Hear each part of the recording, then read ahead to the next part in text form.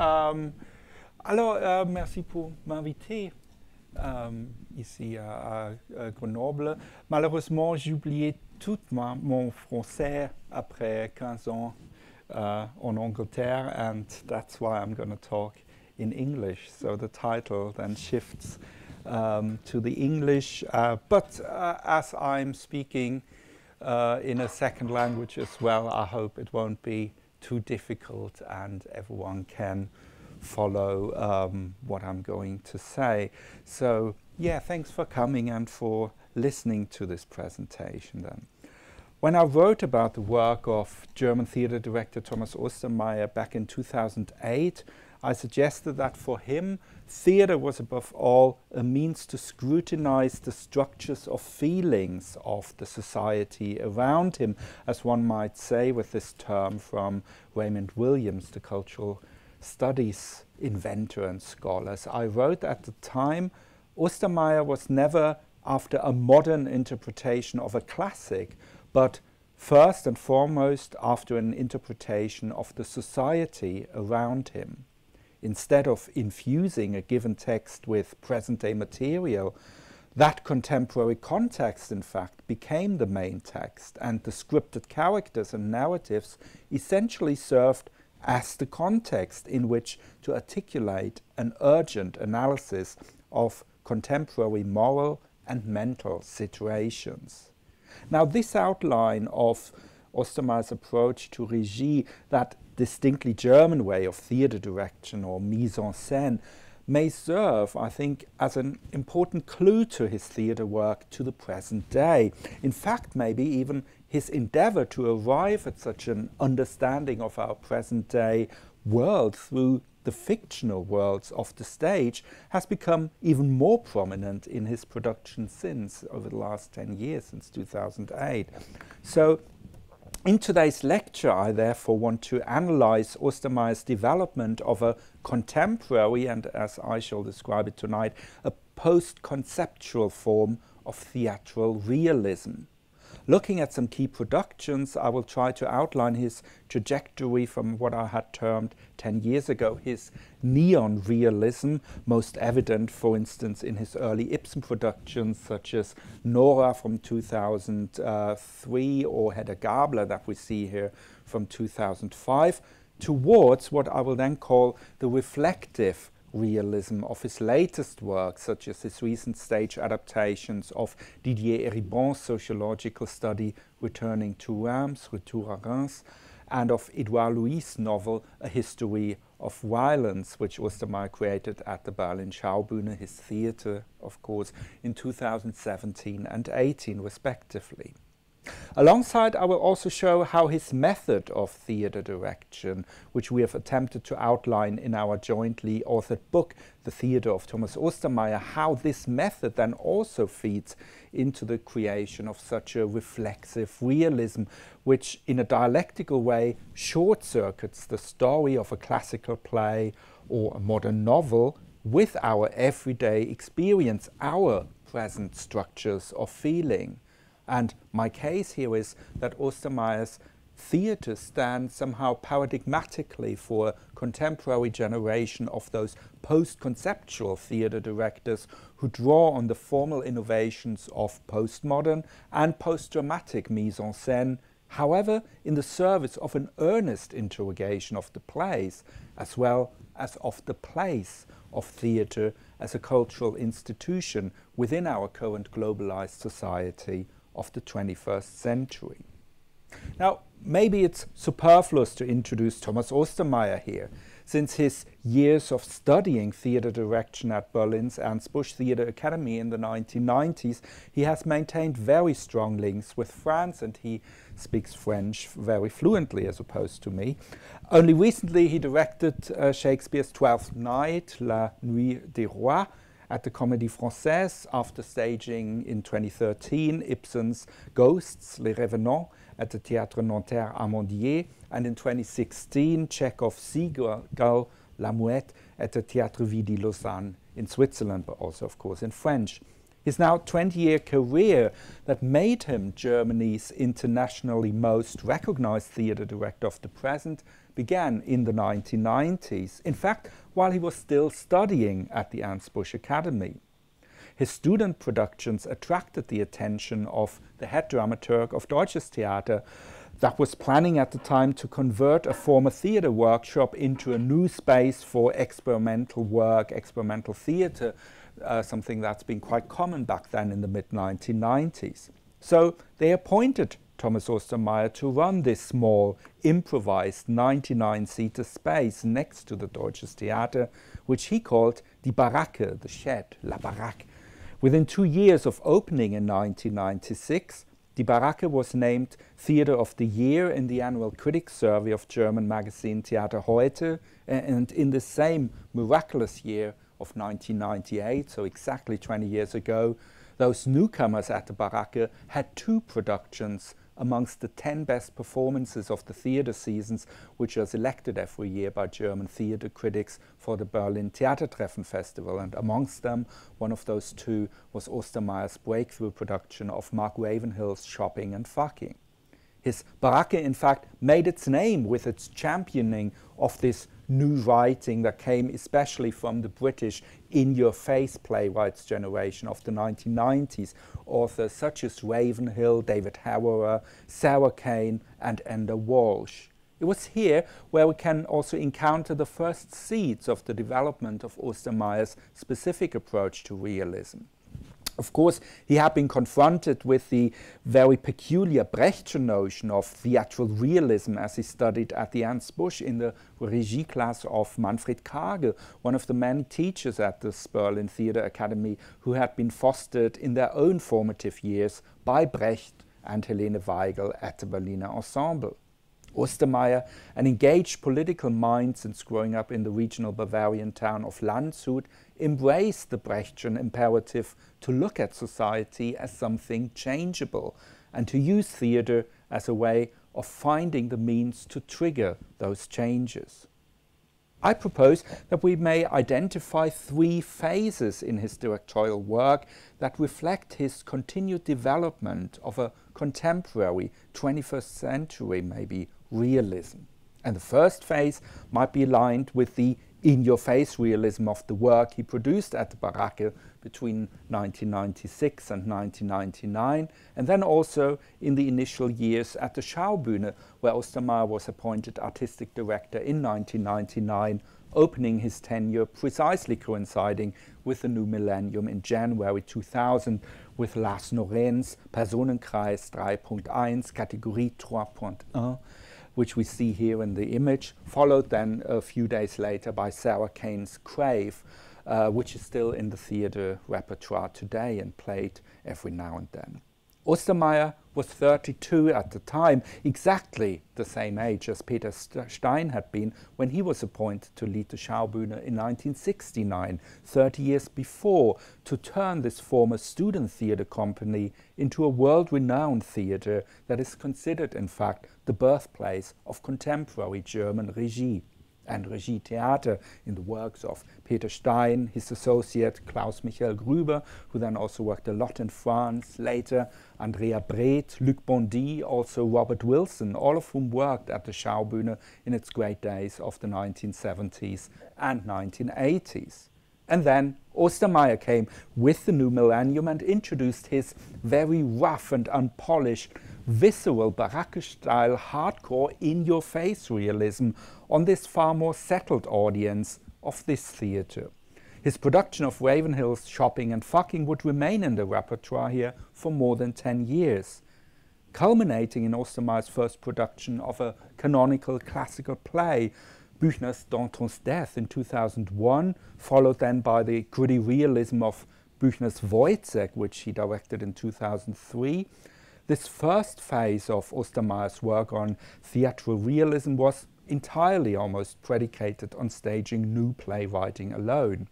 As he, specifically in the early Baracke years, expressly rejected staging any classical play, his production of Ibsen with Nora in 2003 came at some, in a way somewhat unexpected.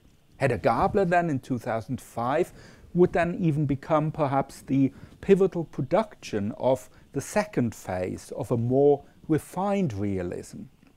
And this new and maybe surprising attention, in particular for one of the most paradigmatic playwrights of 19th century middle class realism, still followed a certain logic, I think, if we consider it from the perspective of Ostermeier's principle of a realist theatre, where with a genuinely leftist attitude, his earlier work had focused on the disprivileged, on the working class, the underdogs of society, trying to give those who lack representation a voice on the stage. The director's work then shifted, as Ostermeier himself expressed it, speaking in 2006 here, more towards the reali reality of people of this age, of this class. And it's maybe much more interesting than the realism of the outcast, because it is a realism that directly speaks to the people in the audience. When we do shopping and fucking, we must be aware that the people described in the play don't go to the theatre because they neither have the money nor are they interested. That's Ostermeier speak, speaking in 2006. So with his Ibsen productions in particular, but then also with the later Hamlet, Ostermeier turned to his own generation and that of his new audiences at the Schaubühne. So the generation of those who had come to success during the dynamic post-unification years in 1990s Germany, just as Ostermeier himself. By the turn of the millennium, however, their energetic hedonism had begun to give way to feelings of loss, of a new angst, of stagnation. Even before the 2008 financial crisis, Germany had found itself almost paralyzed by fear about redundancies, about an empty public purse, embodied in the infamous Agenda 2010 of Social Democratic Chancellor Gerhard Schröder, a fundamental reform if not the end of the welfare state and of the social security systems that used to define at least West Germany uh, since 1945. Finally, Germany is once again feeling so sick that the conflicts put on stage reach the audience. Finally, there is once again a real reason to make theatre, Ostermeier cheered ironically, speaking in an interview from 2005. And this was precisely the background against which he began to create his resonant reworkings of classics, in particular the still ongoing series of Ibsen and Shakespeare productions. Blending fictional realities with recognizable resonances of the everyday present, as you see here in uh, the image of uh, Nora's doll's house living room. Um, blending so those, those fictional realities with the resonances of the everyday present, Ostermeier showed that distinct times, distinct spaces may in fact resonate with each other. That the drama of Ibsen's bourgeois protagonists of Nora um, still takes place in today's living rooms in present day Berlin, and that equally Shakespeare's tragedies may function as a kind of an outside eye whose perspective may then offer a distancing perspective of our own everyday experience, hence contributing to our insight, our recognition, and our understanding of our own society. Over the following years of an ever more global crisis and austerity, the political resonances of his theatre would also expand further, from portrayals of Berlin Mitte living rooms to now global problems and to global effects on people. At this point, and perhaps most prominently signified by his production of Hamlet, which premiered in 2008 at Avignon, a third phase of his work began to gradually become tangible, and that is the one I eh, describe as reflective realism.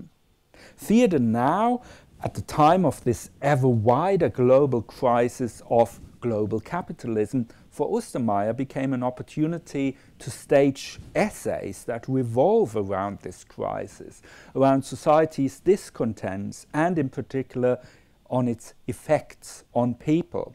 So rather than observing an experiment that laboratory metaphor that may be applied to productions such as Nora and Hedda Gabler, and probably even the initial articulation of Hamlet back in 2008, Ostermeier now would further elaborate his use within the singular space of the stage of configurations of different realities, which in their dialectical collision invited various layers of recognition, something that in my writing about his work I've explained drawing on Slavoj Žižek's concept of the parallax perspective. So a constant shift in our perception between unsynchronizable, incompatible points of view. Here, that of everyday recognizable reality on the one hand, and the fictional world of the play on the other hand, between which our attention then constantly switches, but without any one of them being afforded a hierarchical privilege and a central clue or cue or perspective uh, on the play and the interpretation. In fact, this intensified play that we see in Hamlet with a much more prominently exposed theatrality, with a fluid shifting between those worlds of representation, the fiction of the play, theatrical presentation, the event of the performance in the room, and then also the present, so the time, the context of that theater event, our everyday life we share, both actors and audiences, all that had found a clear articulation already a year before Hamlet with Ostermeier's 2007 stage adaptation of Rainer Werner Fassbinder's 1979 movie Die Ehe der Maria Braun, Maria Braun's Marriage, or The Marriage of Maria Braun, which he originally created away from his own Schaubühne at Kammerspiele Munich. In fact, over a number of years, Ostermeier had already directed a series of productions at Kammerspiel in Munich, including, for instance, Herbert Achternbusch's Susan, which is still playing there in the repertoire today, which had already shown a much more experimental and more post-dramatic approach to staging and mise en scène. Maria Braun, in a way, became the blueprint for that more playful exploitation of theatrality in Ostermeier's regie that would eventually lead to his form of a negative, reflexive realism, as we might describe it, drawing on Hegelian and Adornian terminology here. So for Maria Braun, designer Nina Wetzel had created a 1950s style interior with groups of distinct period chairs, sofas, coffee tables spread across the room, surrounded by curtains on all sides. Brigitte Hobmeier, and then in the 2014 revival that also came to Avignon in 2014, Ursina Lardi in the role of Maria Braun, would remain the only constant character and thus the production's singular focal point. Four male actors, meanwhile, shared all of the more than 20 other roles in the movie, including female characters such as Maria, Maria's mother, as well as Maria's Black Army or US Army lover, whom she murders after her husband, who was believed dead, eventually then returns from Russian wartime captivity. The male actors cross-dressed. They used masks, costumes, hairpieces, never renouncing the attitude of a playful borrowing or exposing of their characters, though. They performed, for instance, the female characters not as a drag travesty, but in their own male voices. A simple sign, a periwig, a pair of glasses, or putting on a jumper indicated each of their different characters and allowed quick switches between the roles they played, often by just turning around and continuing as another character, while at the same time also the actors themselves also uh, swiftly reconfigured and switched the space for those fast sequences of scenes where the chairs and the tables on stage are so props really suffice to turn the scene within seconds from a car into a restaurant, into a prison, into a train carriage, and so on. This multi-rolling and a clear exploitation of the theatricality of live performance and the eventness of performance was then brought to Ostermeier's own Berlin theatre with Hamlet in the following year. Compared with designer Jan Pappelbaum's filmic sets and their pronounced neon uh, realism of the earlier second phase, exemplarily in Woyzeck, the lavish living room realism of Hedda Gabler, or even in a production such as Lars Norén's Demons from 2010. So we see here that these phases, of course, overlap, show a continuous, fluid development. So the sets of Hamlet, the following Shakespeare productions as well, Othello in 2010, Measure for Measure in 2011, but also the later Ibsen productions, not least An Enemy of the People, explicitly went beyond that earlier kind of direct intent extension, mimetic replication of the 21st century reality in the scenography. For Hamlet, Pappelbaum scaled the stage space back to an empty, vast playing field, inspired, of course, by Shakespeare's globe, covered here with soil, and there was only a movable stage frame that contained a curtain as well as a long table at the rear. Again, actors also would share roles, and in this much more abstract background, the actors play, not least Lars Eidinger's performance in the title role, of course continued to evoke recognizable resonances with contemporary structures of feelings. Whereas, however, the earlier Ostermeier, who had also been greatly influenced by Meyerhold, biomechanics, as well as also Stanislavski's psychophysicality.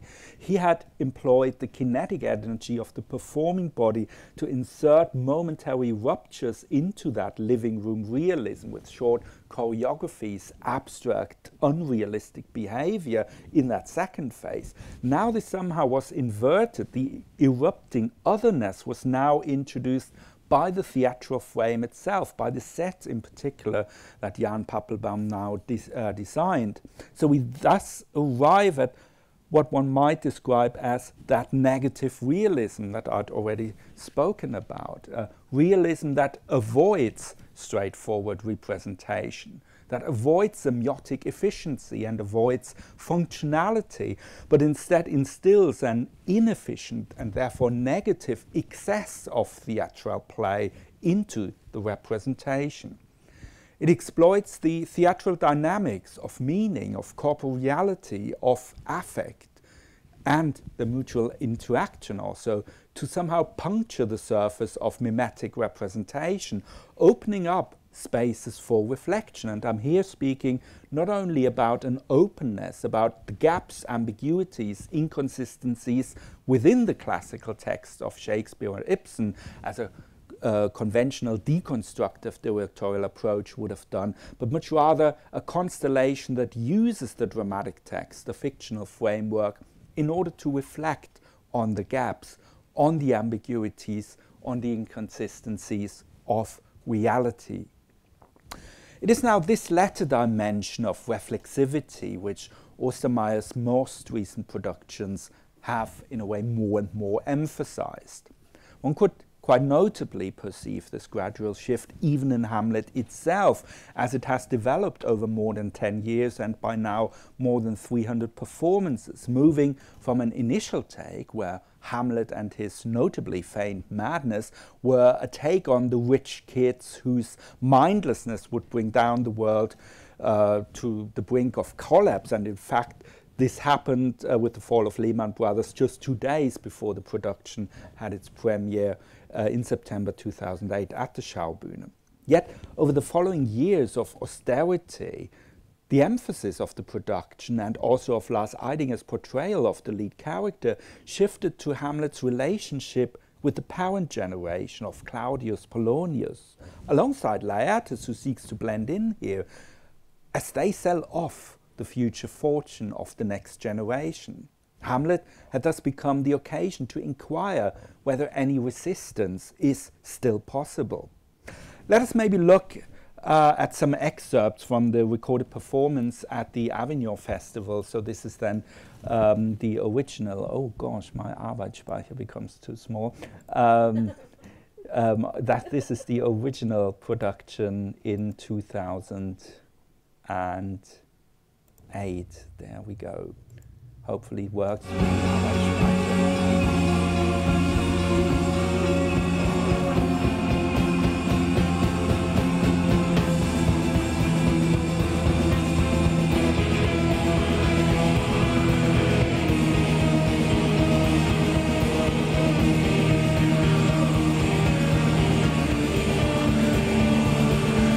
Right, the opening scene, a silent tableau that goes on for 15 minutes. Of course, drawing on the grave digger scene in Hamlet.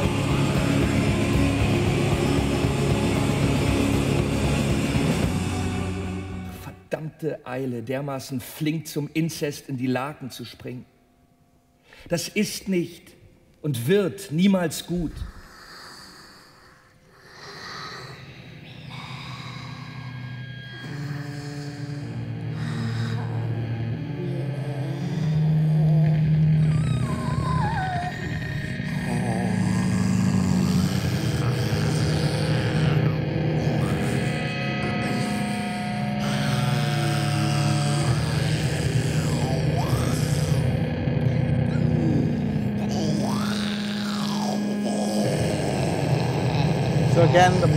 Multi-rolling there, Gertrude, the mother turning into Ophelia, and Hamlet as the Ophelia, cameraman. was Hamlet betrifft und sein Geflirte, das hältst du besser für eine Laune. Und die Hölle selbst mit ihrem Atem diese Welt verseucht. Jetzt könnte ich heißes Blut trinken und so bitteren Geschäften nachgehen, dass der Tag bei ihrem Anblick schaudern würde.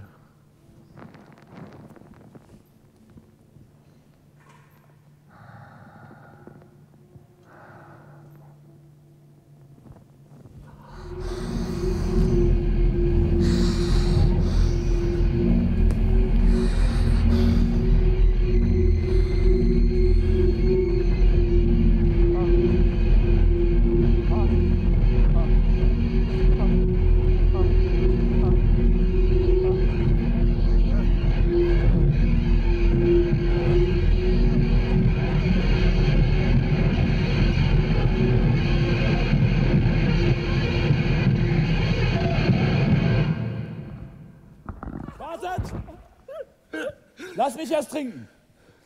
Hamlet, diese Perle ist für dich. Auf deine Gesundheit. Komm in den Becher. Nein, nein, ich will erst die Runde ausfechten. Stell ihn so lange beiseite. Komm, Laerte. New Balls.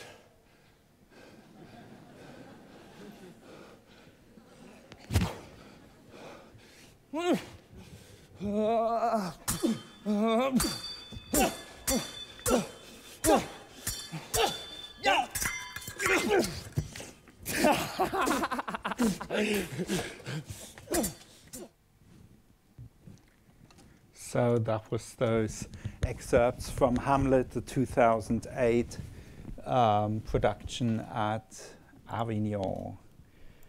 And back we go here.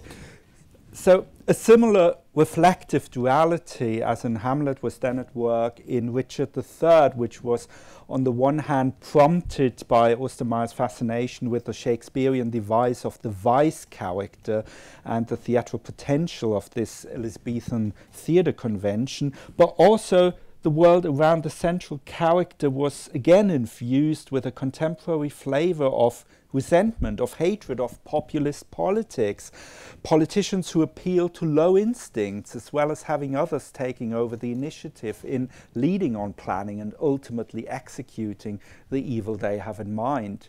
Eidinger's Richard was not the usual evil monster, but instead presented as a rather contemporary, in, in the way of a rather contemporary phenomenology of evil, somehow reminiscent of an Arendtian normalcy, banality of evil, where Richard is only the public face of a machinery of willing executioners who eagerly compete about a place close to Richard and to do even more harm and, and bad things, um, to have a place there without any empathy for others, with no second thoughts, no uh, qualms of conscience, uh, only to then eventually find that they themselves are disposable, replaceable. Buckingham, of course, in the play being the prime example for this. So Richard's evilness here was very much reflected onto him by the active part of those around him, such as Buckingham, which does not at all mean that Richard was shown as innocent, on the contrary, but rather than monopolizing the violence in the play, containing the evil in the character of Richard, his regime of terror was supported by those around him, by their ignorant obedience and their own desires. One newspaper review, for instance, compared this to Angela Merkel, who left all the dirty work of destroying Greece to her finance minister, Wolfgang Schäuble, her Buckingham maybe. In the purpose built, intimate theatre space of Jan Pappelbaum's Schau Schaubühne Globe, um, that you see here on the image, this extended onto the audience then. Uh, to their desires and also to our seduction and complicity with Richard, perhaps also our real life seduction and complicity um, with those who tempt us with similar fascinating populist uh, propaganda and um, temptations. So um, let's see. So I close this again and maybe try again whether it works. Yeah, there's a little clip from, again, the Avignon um, performances of Richard III that were not on um, in the Globe Theatre but in the Avignon Opera House.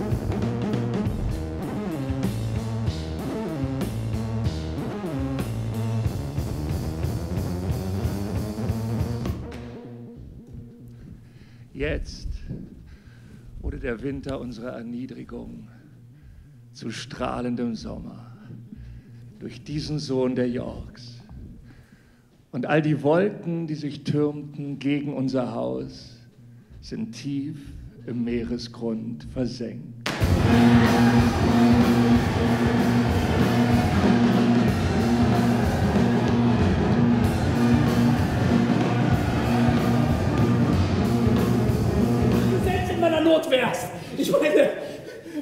Hätte kein Mitleid mit einem bettelnden Prinz? Sieh hinter dich, mein Herr! Ja, los, komm!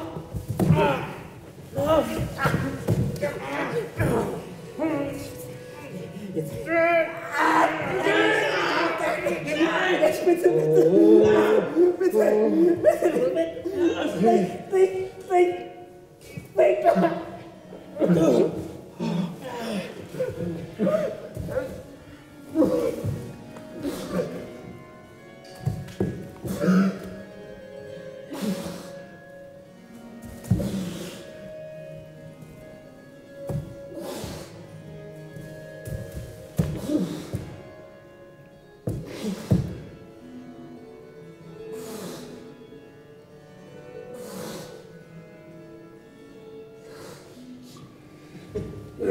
Was willst du meine Waffe haben? So the nephew is Neffe? done as puppet. Lieber eine große Waffe als eine kleine Waffe.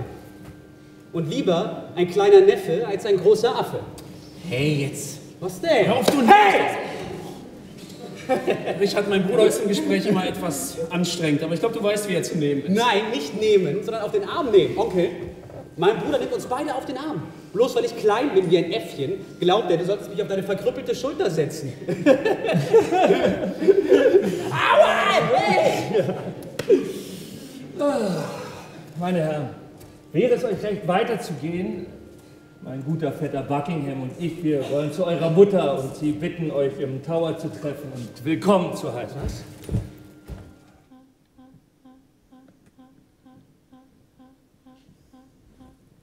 Muss die Tochter meines Bruders heiraten. Die kleine Elisabeth. Sonst steht mein Königreich auf zerbrechlichem Glas. Ihre Brüder ermorden und sie dann heiraten. Wackelige Strategie. Aber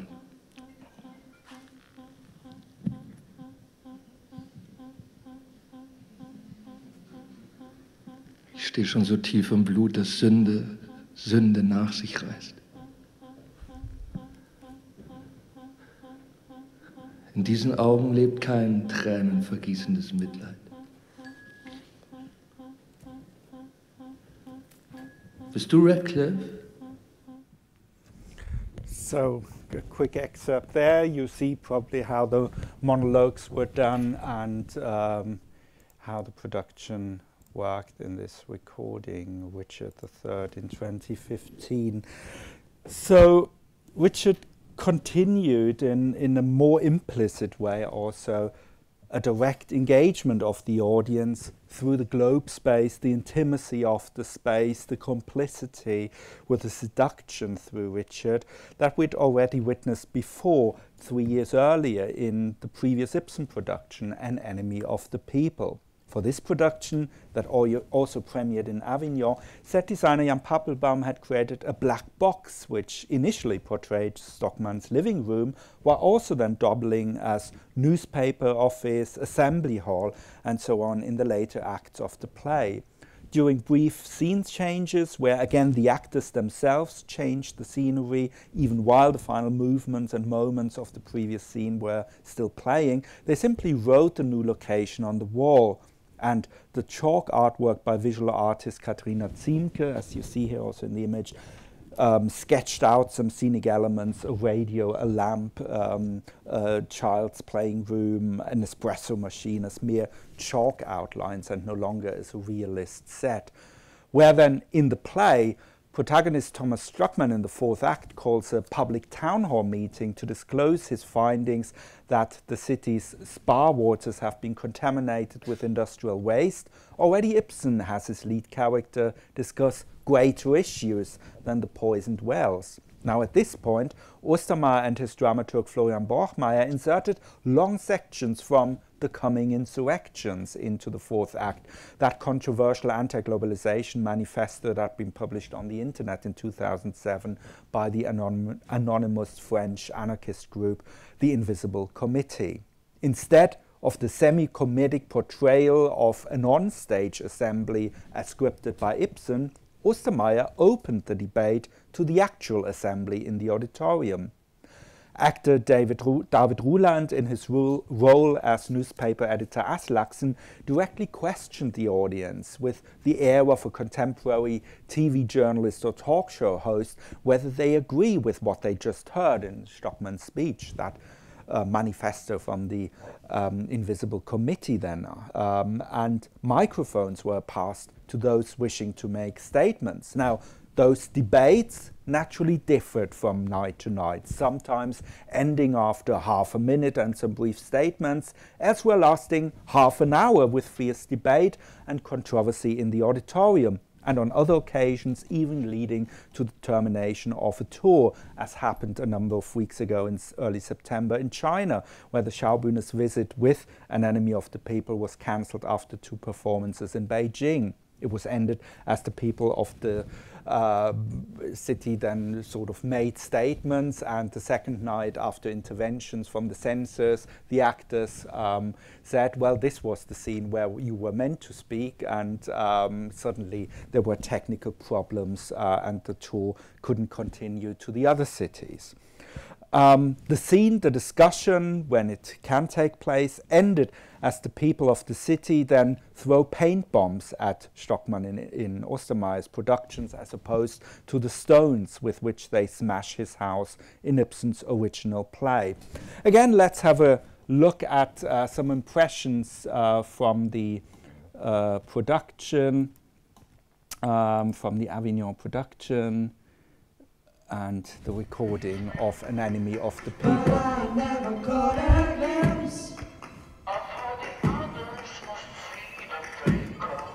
I'm much too fast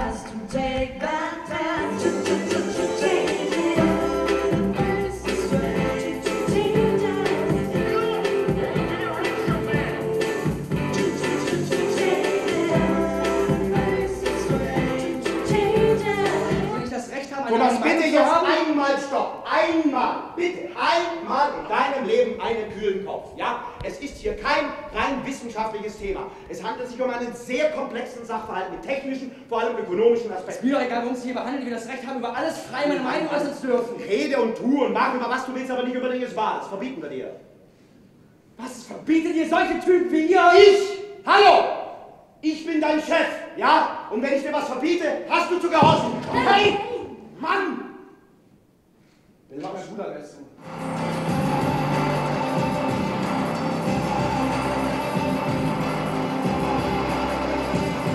aus uns, will man sauber abgegrenzte, sauber getrennte Ichs machen, nach Beschaffenheit klassifizierbar und erfassbar, also kontrollierbar, während wir doch eigentlich Kreaturen unter Kreaturen sind.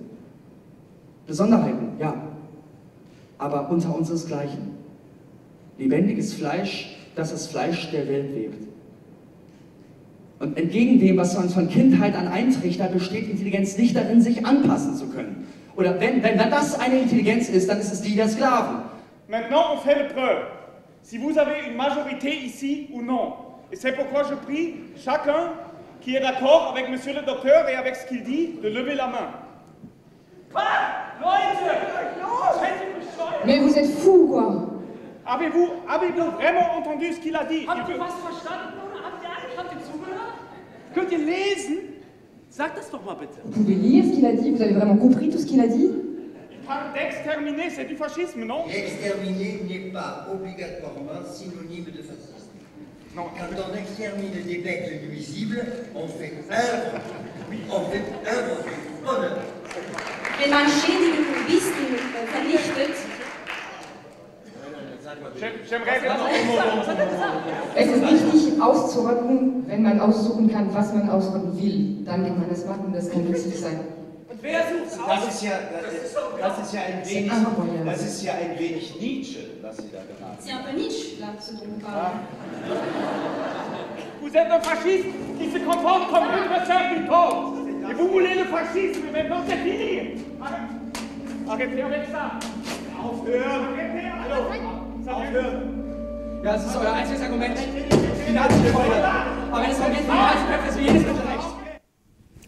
So that was an excerpt from An Enemy of the People, Dupaple.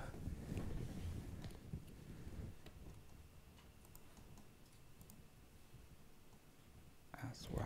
So the affinity to those contemporary structures of feeling, full of populism, resentment, rejection of anything foreign, was then further pursued with Ostermeier's 2016 production of Arthur Schnitzler's Professor Bernhardi, which clearly underlined the connection of the anti Semitism in Schnitzler's play with the present racist witch hunt staged by the AfD fascist party in Germany. Professor Bernhardi introduced a corresponding white box empty cube corresponding here to the hospital setting, again with detailed locations, a ward, Bernhardi's office, just written there on the back of the set and also indicated by both some painted as well as a handful of physical props.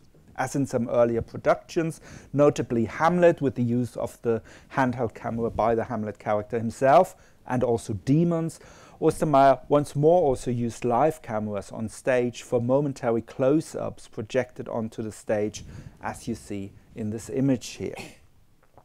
Where these works that characterize Ostermeier's most recent period, Hamlet, Richard III, Enemy of the People, and Professor Bernhardi, already stood as pairs of productions that revolved around shared thematic concerns as well as similar theatrical explorations Ostermeier's latest Schaubühne productions from 2017 and 2018 equally figure as connected evenings, if not as sequels. His stage adaptations of Didier Eribon's Retour à Reims and of Edouard Louis' History of Violence, which was translated into German as Im Herz der Gewalt, echoing Joseph Conrad's Heart of Darkness, they express an urgent need to debate the swing of not only the French working classes from their traditional left wing and, especially here in France, communist allegiance to the opposite end of the political spectrum, to the right wing fascism of Marine Le Pen or in Germany, the AfD. In his book, originally published here in France already in 2009, yet only appearing in German translation in 2016, following the rise of the new fascist party there too, Didier Eribon, the French gay sociologist, returned to his hometown following the death of his father.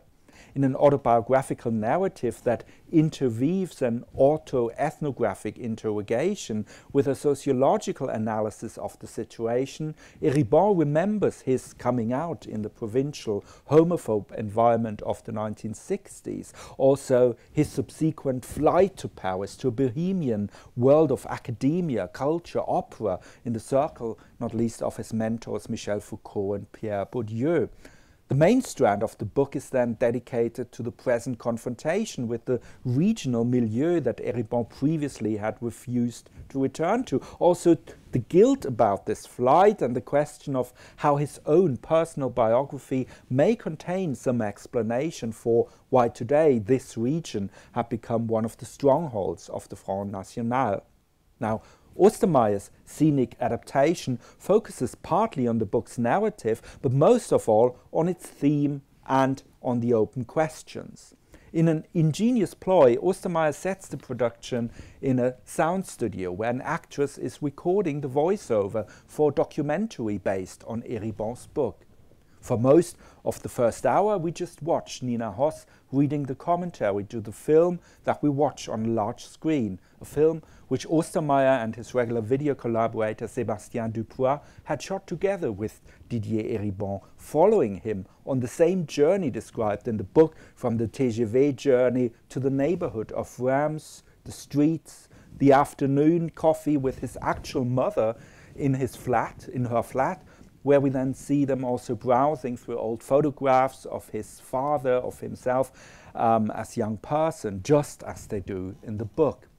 This strand then gets more and more interspersed with the actress's discussions with the director, also with the sound engineer in the, his booth, uh, which in fact introduce a kind of a fictional, scripted layer of actual reflection also on the stage. These conversations draw out some links, but also thematize differences to the current situation in Germany, and in particular, they circulate around the question left out by Eribon's sociological perspective. What's the consequence for us? What is to be done? In the final section of the production, Nina Hoss, the famous Schaubühne ensemble actress, also known for starring in art house movies and a wider public also for her role in the TV series Homeland, she mirrors Eribon's narrative. She tells the story of her own, her real father, who was also born, like Eribon's father, in 1929.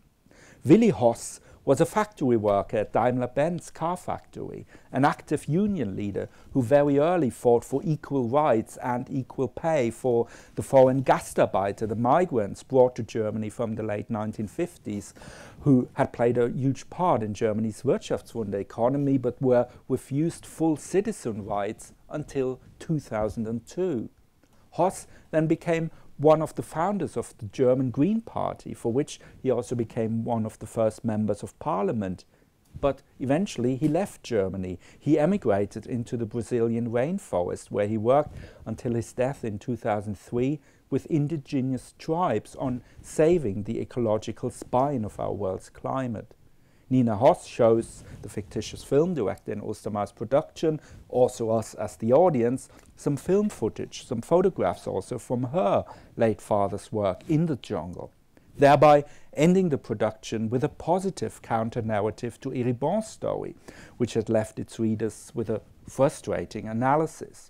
And it will now be interesting to see the forthcoming French version of this production that will premiere at the Théâtre de la Ville in January, where actress Irene Jacob uh, will be in the lead role, taking over the role of Nina Hoss. Just as Eribon here offered a personal examination of a regional working class background where gay coming out had resulted in a flight to the global metropolis, affiliation with the metropolitan boheme, Edouard Louis History of Violence tells a similar story in a novelistic form. His protagonist is chatted up in the early hours by a foreigner on the streets of Paris. They eventually have a wild night, but the next morning the protagonist finds his mobile phone and his iPad in the jacket of his one night stand. The accusation escalates. The foreigner eventually threatens the protagonist with a gun. He rapes him, he strangles him until he blacks out. When going to the hospital and to the police, the protagonist is then both confronted with the institutional racism as he reports the events, but also with his own racist prejudices about this liaison with a foreigner. Louis' novel reconstructs this traumatic autobiographical experience of the author as we hear the story told by his sister, who had remained in the provincial hometown, telling it to her husband, with the narrator offering occasional objections against her perspective. In Ostermeier's stage version, we witness a theatrical retelling of the story emphasizing once again the theatrality of the situation. The performers use mobile phones, mobile phone cameras to produce close-up for product projections. They speak into microphones, commenting on what we see in the central performance area. Also, again, as in Richard III, a drummer is sitting on the side of the stage, accentuating the action with rhythmic percussion, and occasionally also choreographed movement sequences interrupt the narration, reminiscent here of a strategy that Ostermeier had used all the way back in his early work. And once more, next to the central characters of the victim and the stranger, a number of roles were performed by the same two other actors. A handful of props easily reconfigures that central performance space from street to living room to hospital ward, always in the same bright neon working light. Whereas the sister, the policeman, a homeless tramp who passes by, they add their commenting perspective from the edge, the sideline of this central space. The implicit or explicit monologic structure of most of these scenes, the exposed narration rather than dramatic representation of the story, they foreground the processing, the making sense, the coming to terms, and thus the reflection instead of the presence that would lead to absorption and identification. The multiple layers of narrative representation and theatrical presentation once again allow us here to observe the story while being directly involved in the theatrical situation and therefore less able to distantiate ourselves from our own practice, our own act of watching, of witnessing. By breaking down the fourth wall, the theatrical realism also breaks down an effective safety curtain of sorts, and paradoxically, being even more aware of the fabricated nature of this, as if, for instance, of the rape in the play's climax scene, it nevertheless affects us even more. The exposed intimacy of the experience, the exemplary trauma that triggers a much wider societal dimension, result in the brutal force of this mediated form of realism because the scene remains a sketch rather than being offered as a mimetic, played out representation, it seems to amplify not only the space for reflective responses, but equally for effective impact. Let's just quickly watch um, the production trailer from um, Im Herz der Gewalt, uh, l'histoire de violence, and Edouard Louis. That's only two minutes.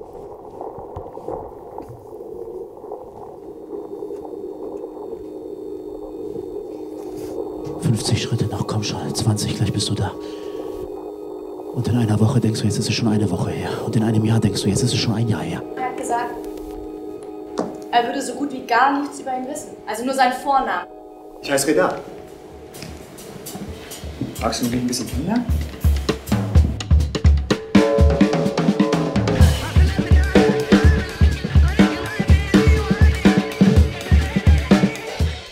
Kabile. Die Kabilen sind ein, ein, ein Berbervolk. Das ist also so Ihr Ding. So alles Arabische. Dieser reflexhafte Rassismus. Weil für sie implizierte maghrebinischer Typus keine geografische Information.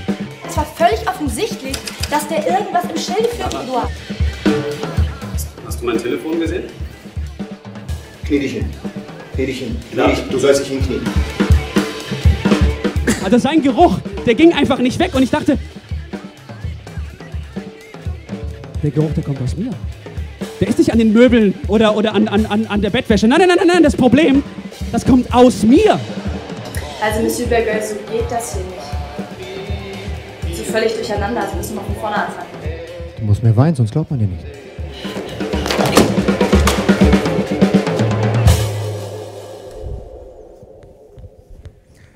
So, l'histoire de violence.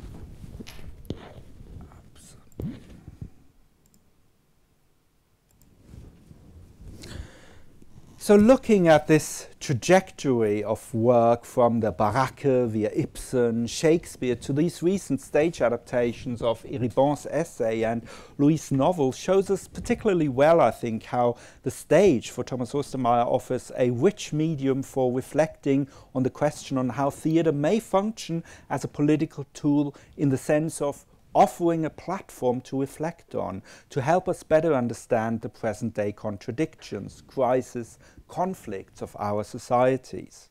Already in the Baracke years, Ostermeier had used the term sociological theatre to explain his specific vision of the potential of the stage. In a public lecture in 2009, he suggested that a realist notion of theatre, which I have described as sociological theatre, is based on the assumption that the conduct and behavior of human beings with each other changes in accordance with societal transformations in their environment. For instance, the boredom of Hedda Gabler in the late 19th century presents itself differently, articulates itself differently, takes different forms and shows different relations with her fellow human beings than a Hedda in the early 21st century.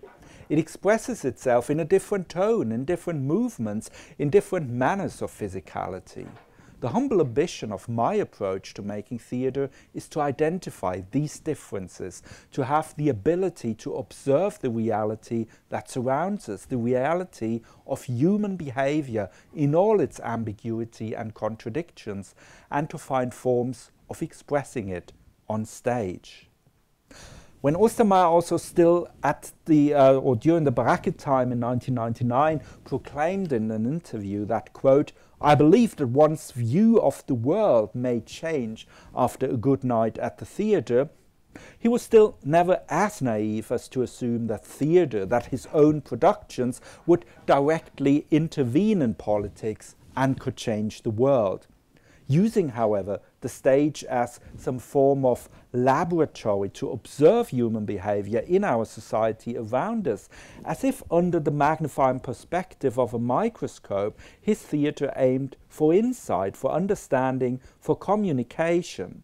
As sociological and hence expressly not psychological theatre, it seeks to trigger not identification but recognition in an Althusserian sense, and hence a reflective mode of spectating, which, as of course Brecht would not tire to emphasize, is not at all the opposite of entertainment, but on the contrary, true entertainment, the joy and pleasure of insight, of recognition, of a reflection of those opportunities to facilitate change in society.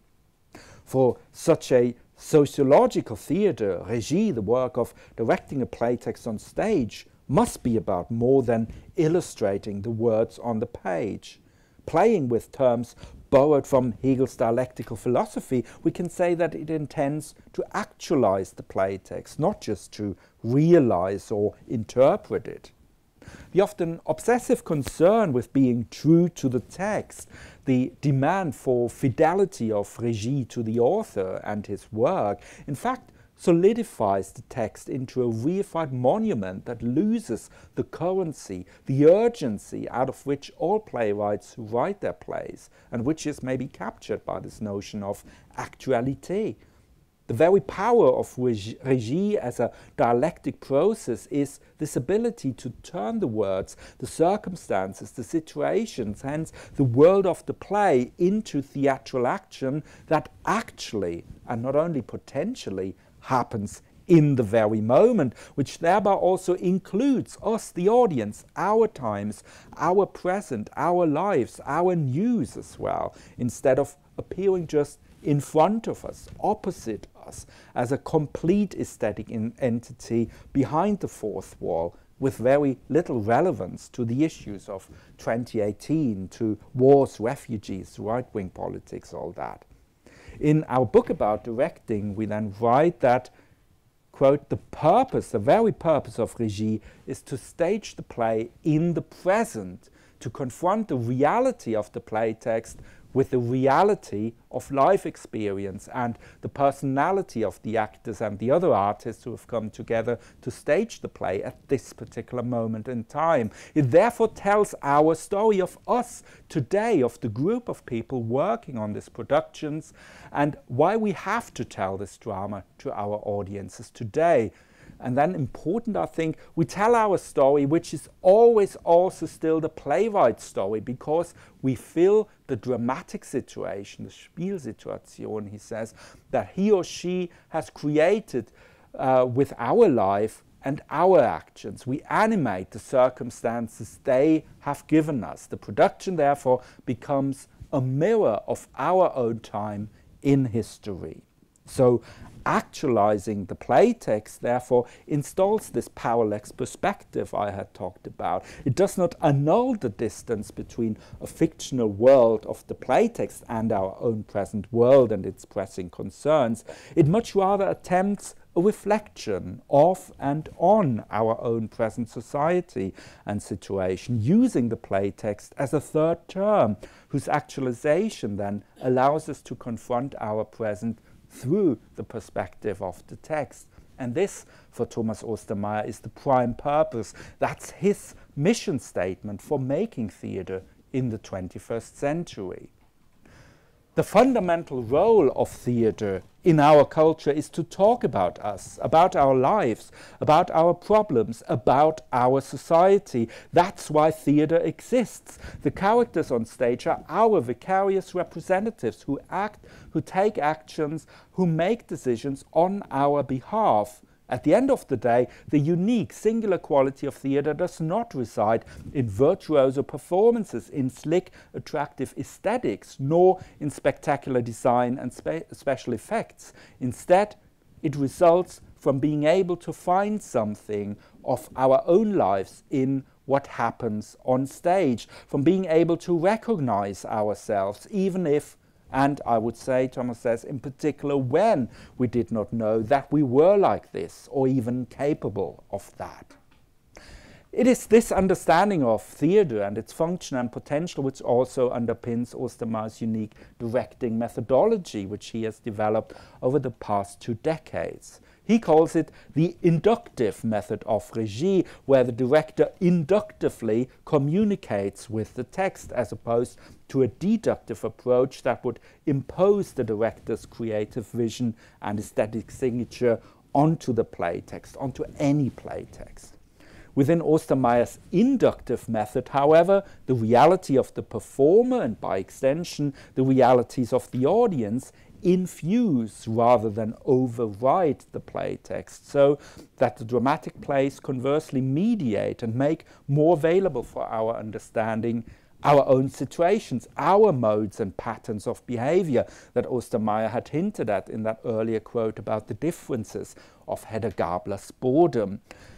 Ostermeier's directorial method thus considers regie as a situational practice which constructs situations and relations in order to shape, to demonstrate, to make recognizable human behavior, which again is not seen as expression of a psychologically defined character, but as produced by the situation, by the social relation with others.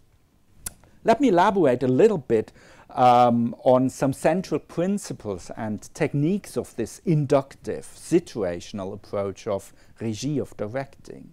So, in the approach to the text and the dramaturgic conception of his productions, a close, a very close and thorough analysis and understanding of the situation, the circumstances, and the processes, Vorgänge in German, actions, we might also say, in each scene are the indispensable starting point. This means that his work does not start from an analysis of characters, character behaviors, backstories, whatever, um, as expression of a fictional psychology, but instead it assumes that characters are what the audience will perceive when they watch the performance and see concrete actions and behavior in a concrete situation.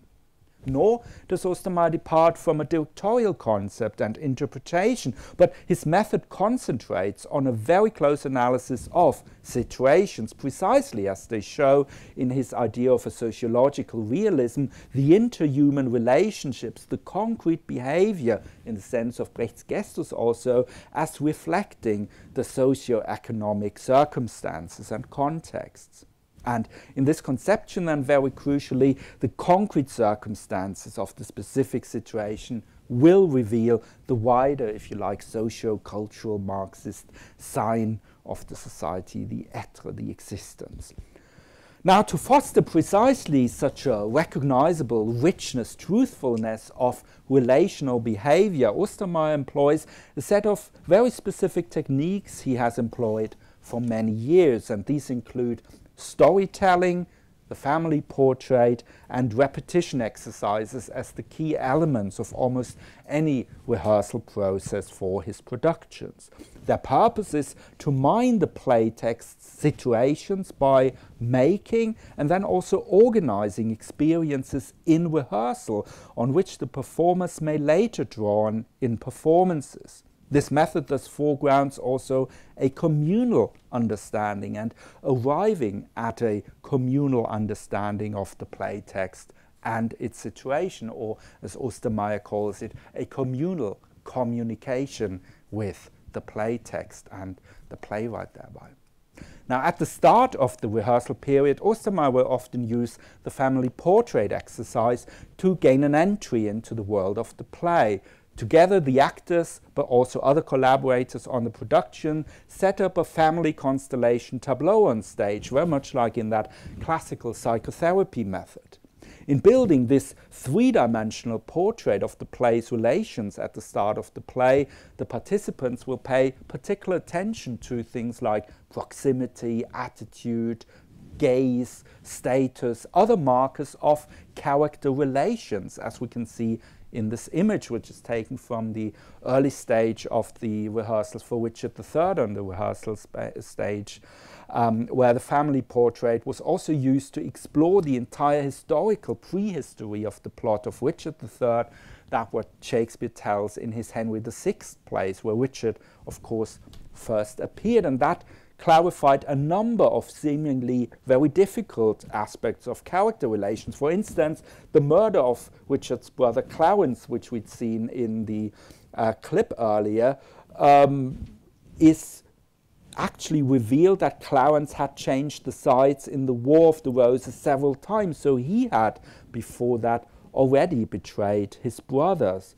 Uh, most interestingly, however, um, there's something about this relation that comes up um, with Anne, the perhaps crucial scene in, in the play. So Richard's exclusion, the fact that he had done all of the dirty work for the others, especially for King Edward, his brother, but remained the outsider within that general glorious summer. Um, there at the end uh, of it, Anne is the only other person still on his side of the tableau. Everyone else is over there then. And that makes the apparently somewhat unmotivated famous seduction over the grave of her father far less mysterious. She is just as alone as he is. She has absolutely no one in a hostile world, and so this alliance is the very obvious way, the only way she has to guarantee her protection from harm for being raped, murdered, um, whatever. So um, the idea here is that in the actors, this exercise embeds a sensory knowledge of whom their characters are close to, what the status distinction to another character is, and so forth. Ostermeier never blocks his productions, but this embodied awareness of the character relations, of the relation of their characters to the others, is then or can then be activated by the performers in every single performance. And uh, that also means keeping a performance fresh even after it's been in the repertoire, like Hamlet, for more than 10 years.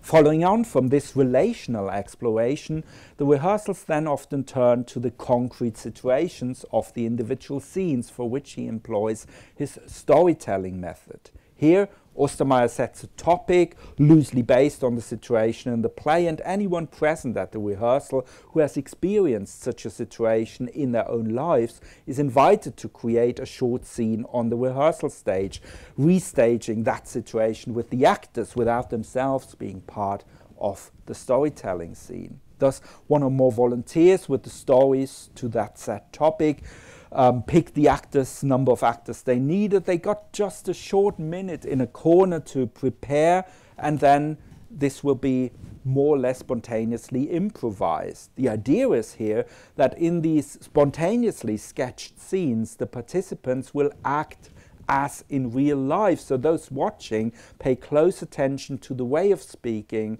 to again proximity, small gestures, other aspects of the behavior in these real life scenarios that are played out in the storytelling. In the next step, then, the director will replace the performers who somehow accidentally acted out the improvised story with the actors onto whose characters the relevant situation maps in the play. They are then asked to replay exactly what they had seen and observed, and eventually also the text will be replaced with the text from the play. So, topics of storytelling exercises in the Richard rehearsals could be admitting that one has failed in an important task, persuading someone to do something that's actually to their own great disadvantage, reconciling after big argument, and so on and so on, rejecting a request that seems easy to fulfill, also receiving the news of the death of a loved person. But uh, we can look at Ostermeier's work with this technique um, in a documentary um, that's uh, been made by Arte Television um, a couple of years ago about his work on um, La Mouette, the seagull, Chekhov, um, and in this moment of Trigorin Bonjour Nina. and Nina. Euh, la situation un peu, euh, rehearsal. un peu modifiée. Nous allons sans doute partir aujourd'hui. Bon, on risque de ne plus se revoir. Dommage. Alors, prochaine histoire, le jour où je rencontrais un très grand célébrité que j'adore beaucoup. changer des trucs. Ouais, on l'a Tu transposé. l'as un peu arrangé. quoi. Ouais, ouais, j'ai- Mélodie, qui interprète Nina, s'est souvenue d'une expérience avec le réalisateur Abdelatif Keshish qu'elle a tenté d'approcher au cours d'un tournage.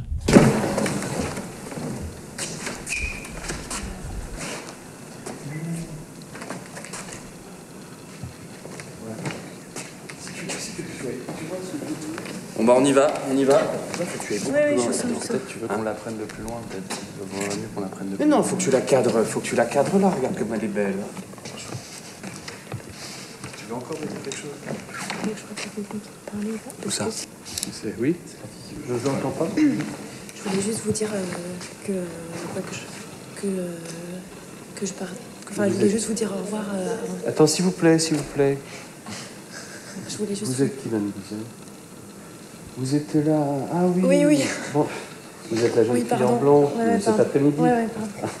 Je vous avais pas reconnu. C'est la noisette qui était cet après-midi euh, figurant au cinéma. C'était super d'avoir pu participer. euh, euh, Enfin, c'était vraiment. des- je m'en sou- enfin, souviendrai toute ma vie, je crois. Okay, sehr gut, sehr gut.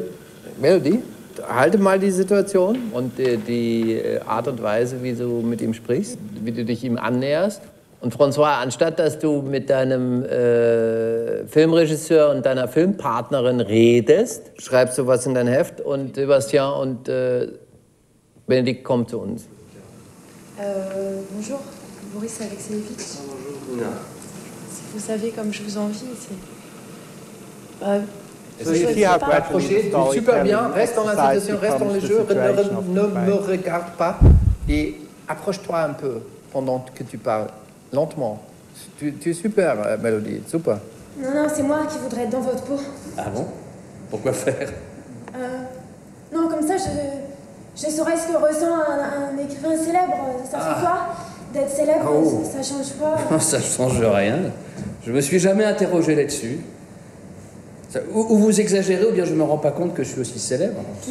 Mais euh, quand votre nom est dans les journaux, Quand c'est positif, c'est la fête, sinon on passe 15 jours comme un chien battu. c'est magnifique. Oh, Enfin, je veux dire, on choisit pas. Il y en a qui traînent leur existence ennuyeuse et insignifiante, et puis. Il y en a un sur un million qui a une existence euh, fascinante, pleine de sens. euh, Vous êtes heureux. moi Denkt mal darüber nach, mal eine Szene zu lesen und zu begreifen vor dem Hintergrund, eine, eine Situation beginnt und dann bewegt sich aber die Szene auf einen Höhepunkt zu. Ganz viele Schauspieler gehen immer in Szenen rein und spielen schon am Anfang der Szene das Ergebnis. Das ist auch so ein Problem bei Schauspielern, die, die, die, weil sie wissen, ich bin der Gewinner in der Szene, strengen sie sich gar nicht mehr an. Also die Situation zwischen euch beiden interessiert mich vor dem Hintergrund, schafft er es, sich als ähm, armen, leidenden Künstler zu stilisieren, um sie zu angeln? Deswegen musst du ihr das Gefühl geben, für meine Kunst hätte ich dich so gut gebrauchen können.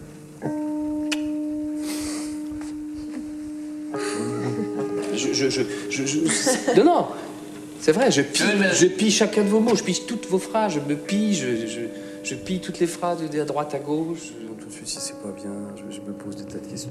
Je me dis c'est mauvais, c'est à chier, j'ai l'impression de le dire.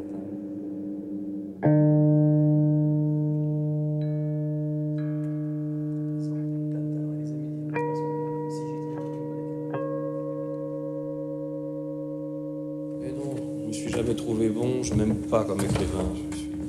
Also mich interessiert, wie du als François in der Situation eines Trigorin dich verhalten würdest. Und dann die ganze Arbeit, um dann an dem Moment anzukommen, wo sie an dich rangeht und sagt, guck mal da drüben. Vous voyez la maison Où Avec le jardin. De l'autre côté. Oui, oui, oui. C'est la propriété de ma mère. J'y suis née. J'ai passé ma vie entière sur ce lac. Il y a des îles. Je les connais toutes. Ce personnage de l'écrivain est crucial dans l'histoire de la mouette. Son appétit sans borne pour Nina sera à l'origine du dérèglement général. C'est par lui que survient le drame. Derrière ce personnage se dissimule Tchekhov, pour qui un écrivain porte la responsabilité de transmettre la vérité. Vous écrivez quoi? Hein? Rien, de spécial. C'est juste une note, un sujet comme ça pour, So un, pour petit nice, récit. um, Sur la rive d'un lac, depuis son enfance, vit une jeune fille. Um, a very nice illustration of his working methods, this documentary that sometimes pops up in the Arte store where you can see it then again.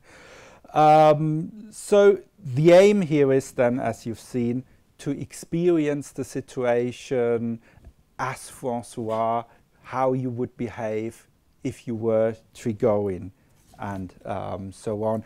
So um, let me perhaps sum up then this analysis, my analysis of um, this post-conceptual approach um, to theatre, in which then also there's uh, another um, next layer of repetition exercises based on Meisner, which um, want to get the actors out of projecting their, uh, their um, character into responding and taking the impulse um, from the partner then and um, how can we bring it together? So um, let me sum up here this approach to theatre after the dominant, the ever so influential paradigm of postmodernism, of deconstruction, that I call post-conceptual here, following Peter Osborne's writing. Now, the deconstructive approach to play texts had emphasized an understanding of playfulness understood as irony, equating the challenge to the hierarchical status of the playtext with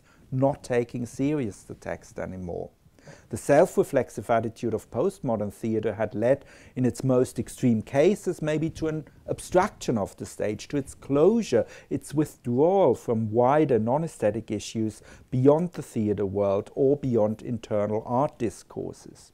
While postmodernism has, perhaps for good reasons, come in for quite a lot of beating, we should perhaps return to the roots of its thought, of its political, philosophical critique and inquiry that initiated what was later termed postmodernism in the thought of Foucault, Bourdieu, Derrida, and here maybe Ostermeier's recent engagement with French writing and not only uh, dramatic writing, but critical discourses also seems very interesting. So, in his theatre work, across those three phases of the development of his reflexive theatre aesthetic, the development of his directorial method that I've outlined here, we see a return to the social, a new attempt of situating theatre within its social, political, and cultural economic context as a practice and as an institution with its practical and political agency. In fact, maybe we might say that Ostermeier's inquiry is as much about understanding society at large as it is about coming to terms with the role, the potential of theatre in our global and for European theatre certainly also post-bourgeois context of theatre making. So it's asking about the place of theatre in a disjunctive society, in that dominant, globalized, neoliberalized life experience um, of what German sociologist uh, Andreas Reckwitz has recently described as a so society of singularities. The contemporary theatrical realism that we see exemplified in Ostermeier's work counters here with its insistence on a societal common and the ability of communication, hence maintaining the public form of theatre as core of a public sphere, precisely resisting the commodification of a theatrical experience in purely individualized, singularized, interactive performances. His reflexive realism no longer performs the operation of the as if of a fictional theatrical reality, but instead often as if there was still a relational totality, still a joint horizon, still a communal public sphere, still communication and community within our society of singularities, that is the global modernity. And I'm owing this phrase as if there was a relational totality still again to Peter Osborne and his outline of contemporary art. So Ostermeier's theatre claims a relation. It claims that horizon of commonality and communication as key ingredient of the Habermasian public sphere. And I think it's quite interesting here um, to arrive also looking back at Ostermeier's own biographical trajectory from the house squatting punk to the leader of uh, the theatre in Berlin Charlottenburg, um, in a way to use this then as a prompt to investigate, to think about the legacy of the dramatic canon as one uh, manifestation of the legacy of enlightenment, including then also, of course, our institution of bourgeois European theatre as we have it here since the 18th century. And this approach that we see here to a new critical post-conceptual realism is something that Ostermeier in one way shares with quite a lot of other theatre makers, let's say Milo Rau, Yael Ronen, both of whom have also worked at the Schaubühne Oliver Frljić, many others. But Ostermeier seeks to propose a way that is very distinct from their strategies of direct intervention, of reportage, of documentary formats, which to a large degree seek to eschew, to overcome the format of dramatic theatre, as has become clear maybe recently in Milo Rau's manifesto published at the start of his tenure as artistic director in Ghent. Ostermeier is skeptical about the privilege afforded here um, to such reality theatres in a world where reality is precisely what is being fabricated on the basis of interpretations, manipulations of facts, of data, and alternative data, and alternative facts, and even fake facts. In direct contrast, he embraces a dialectical, a speculative realism, we may say, that draws on the seemingly more conventional dramatic form and fiction. He reconnects the post conceptual contemporary situation with that rigorous realism that he builds on Brechtian parameters rather than the fetishized authenticity of reality itself that we see in the other approaches. He in contrast, maintains the value of fiction, where theatrality engenders those dialectical processes of thinking, of reflections that are, in fact, of course, implied in those fascinating shared roots of the words theatre and theory. The theatrical dynamics, the rhythmic structuring of times, of spaces, the materiality of bodies and objects, the interweaving of narration, representation, theatrical event, and presentation.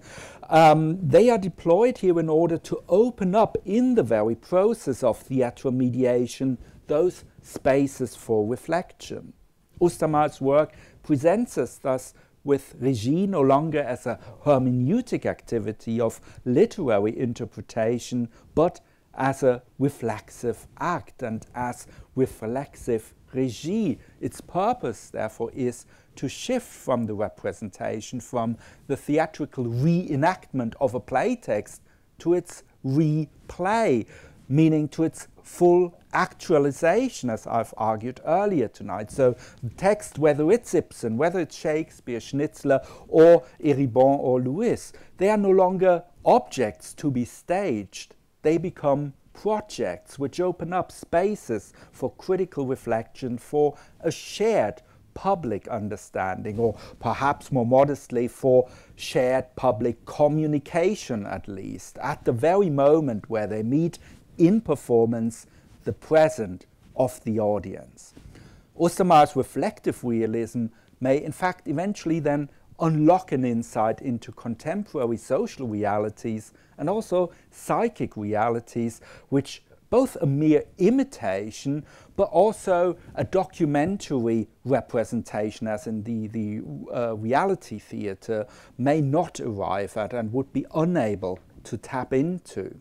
Ostermeier's work made us deploy canonical, classical texts precisely with all the baggage, all the burden of this tradition as an actual signifying practice, even more so as a concrete social practice that enables common, communal reflection, communication, theatrical thinking.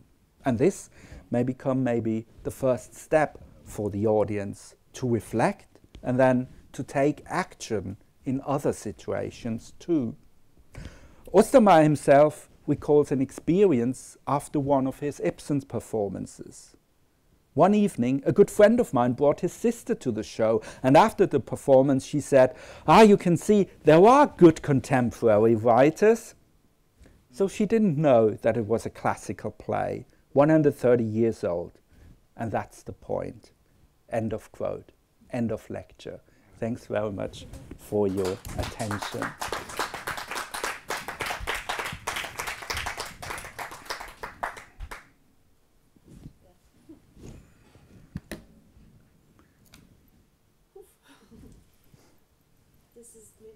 For some questions uh, S'il y a des questions des. Je vais passer le.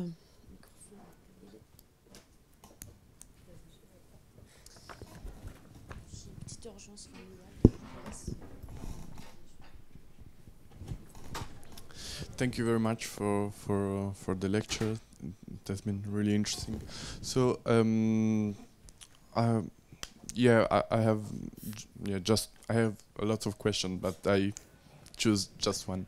Um, what's it interesting in Ostermeier is that uh, is uh, how he, he changed the notion of realism, and you, you showed that really well. And um, and if we think that he is the only, I think the the the last director who has been trained in uh, Meyerhold biomechanics, uh, that we, we always think biomechanics uh, as, uh, as something uh, completely different or, or, or against realism. it's it's it's really interesting. So, so my question is. Um, I know that at some point at, in the 19th, uh, he said, I, I, from this point, I will work just with uh, biomechanic trained actors. And I know that he changed. But now, uh, he, uh, what mm, I mean, uh, he, he still makes um, some some connection with Meyerhold biomechanics, or it, it has been something that uh, uh, it it has been present during his education and now just just it's not so so important as as before I mean, yeah, thank yeah. you. Yeah, thank you very much for the question. I think the whole approach via the body, via a physical training, was one that was probably um, dominant at the forefront from the Baracke into the early Schaubühne years, where he was co-directing the Schaubühne with choreographer Sasha Waltz. So the uh, dance ensemble of Sasha Waltz and um, the uh, acting ensemble of the Schaubühne had a daily training together, and that was still uh, one of those moments when he worked a lot also with physicality in his only in his own performances, something that was then a bit maintained by bringing other choreographers to work, uh, especially in the work of Falk Richter and Anouk van Dijk at Schaubühne and some productions with the dancers from Anouk's company and Schaubühne ensemble actors, Stefan Stern, for instance, who played in the original Enemy of the People, whom we saw here, also danced, uh, performed in a lot of Falk Richter plays there. However, then uh, the dance somehow disappeared from the Schaubühne, and I think this also coincided with this move where what the or the quality that the biomechanical movement or, or choreographed movement that you still have, for instance, in Hedda Gabler, mm -hmm. in occasions um, where there's totally unrealistic movement in this hyper-realistic set, that then switched, and I think we come to very realistic, in a way, behavior, um, which perhaps also makes the Schaubühne actors so uh, asked for television stars and actors in an open set. And that's of course also something that's in Meyerhold in a way that the use of the set of props as theatrical play. And nothing should be there just for decorative reasons but only to be used by the actor. And I think he's moved from perhaps also from, uh, for a reason from the impossibility of maintaining the daily training that they once used to do in, in earlier years at the Baracke, also at the Schaubühne, um, to that wider notion of maybe also then the, the Meyerhold of his um, great uh, spectacular sets of the later um, productions, these abstract sets with the many doors and, and what we know from these classical photographies where the whole, in, in maybe the constructivist context, then the whole theater space became a similar engine of energies to alienate or estrange and counter um, with a realistic um, behavior. So that's how I would um, place this. Thank you. Ah, you're just in time for the next question, if we have one, to pass maybe the microphone on. Just keep in time for the. It's my job. Thanks, Gretchen. Thank you very much, Peter, for this very stimulating journey through Ostermeier's work. Um, I guess I was very glad when you came to um, the process, the creative process, because you did show how Ostermeier focused more and more on uh, the people working on the production, and I was wondering well, how does that translate in the work with the actors? So you came to that.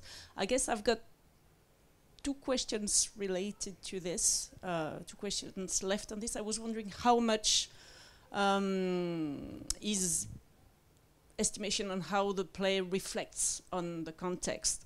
How much of this is pre uh, pr predetermined um, how much does he leave to the discussions with actors to actually influence the reflection that's going to be um, coming out of the play? I hope what I'm asking makes sense. And I, I, I, guess the second question is on.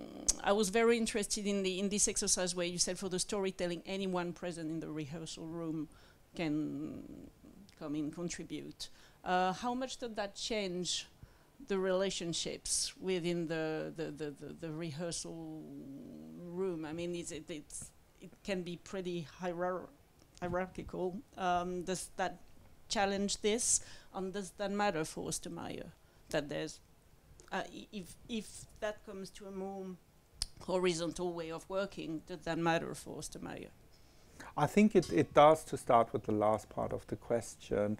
Um, so the the musicians, the um, I don't know, costume people, maybe even the apprentices or hospitants, so the stage um, student, um, or on one occasion even our visiting uh, Shakespeare professor who just had a story um, to the situation on the one day he was in.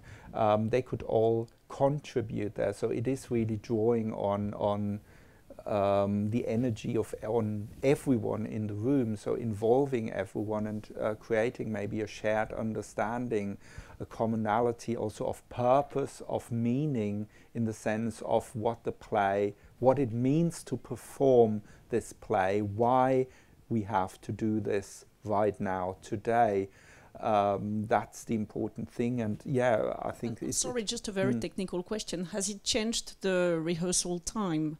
Throughout the process? Has he still been op operating the same kind of length of rehearsals, or um, has he felt the need of, increase it, of increasing it?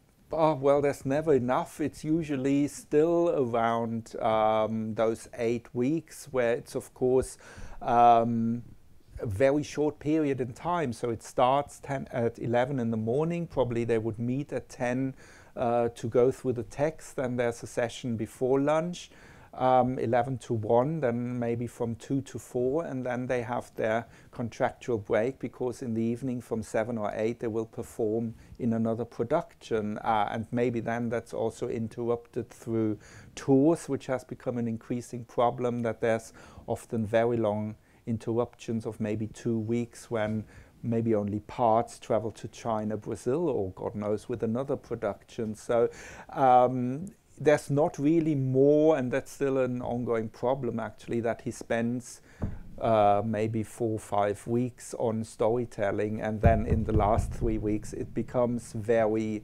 um, directorial, and um, this is what we do, this is how it's now edited.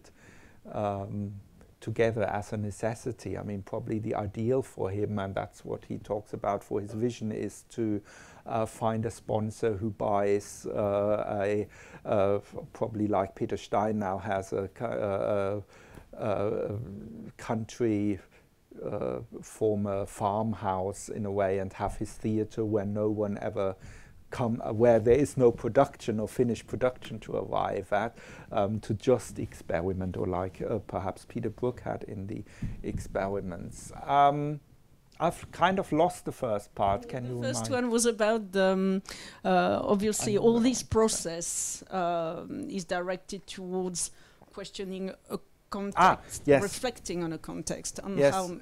And I think it's uh, very much still directed uh, and very strongly directed, very strongly conceptualized without the actors in the end becoming the mere tools to realize that concept by a very long preparation that can often be many, many years. I think The Enemy of the People, that was done in 2012 or 2012, was first read with actors in something like 2004 or 5.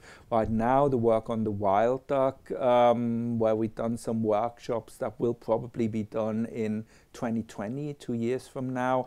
Uh, and what happens in that time is not only Ostermeier studying a lot, um, working with his students rather than actors, doing workshops with his ensemble and casting and making the decision. And I think by casting, specific people in roles.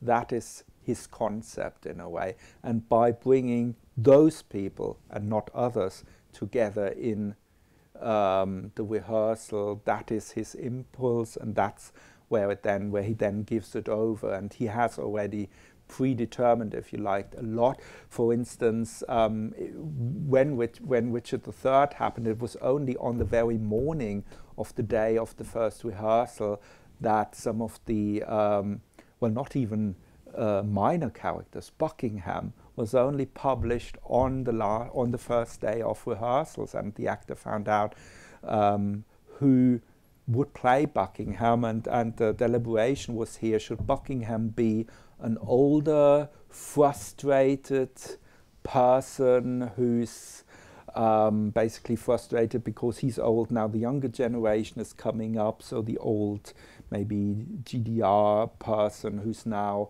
electing, uh, voting for the AFD, or should it be a young person who's just uh, dynamically wanting to get ahead and gets fascinated by uh, the evil? He decided then for the young in the end, but that decision happened, was kept open until the first day of rehearsals, and by then making the decision of uh, either casting Moritz or Thomas um, Bading in that role, that's where he sets the parameters for the discussions that then will happen. That's how he can already um, pre perhaps determine to the way he or to the degree he wants to predetermine the dynamics that will unfold and the rest is then over to this group he has brought together. So a lot of actors have who've worked elsewhere in German theatre have described that this situation of having to go into castings within an ensemble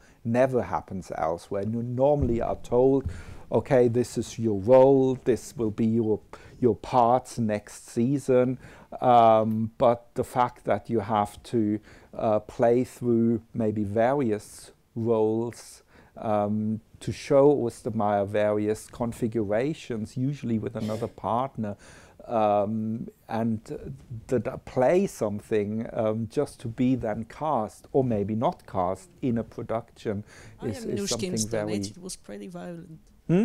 Ariane Mnouchkine's done it. Yeah.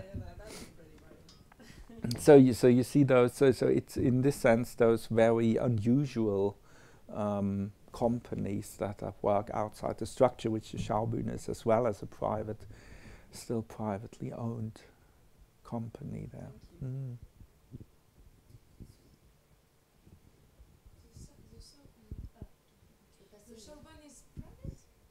Yeah, it's it's still um, owned by um, a um, collective of four people as a shareholders. Ostermeier now uh, being one of the four. Um, so it's not a state and city theatre. They get funding like all private or all theatre, whether city theatre or, or, private theatre is funded in Germany, but they get only the fund only the funding of 13 um, million euros uh, that pays for the wages and the building. So that allows them to employ 230, around 230 employees, um, to have their own ateliers, to have their apprentice wig makers or whatever, to run the education for schools and, and all of that. But it doesn't give them, as opposed to a state and city theatre, the budget for any show. So that's what they have to bring in. That's why they also tour so extensively and also in um, distinction to the state and city theatres, the actors are not employed by the state or the city, but by the Schaubühne. That's why there is also a certain, say, constituency of actors that you find in the ensemble of maybe the same age. You don't have, perhaps as only as, as a singular occurrence, you have Bierbichler or someone coming in, but you don't have older actors because it can be more attractive to play at a proper state and city theatre where you then um, get um, the, the more money in a way.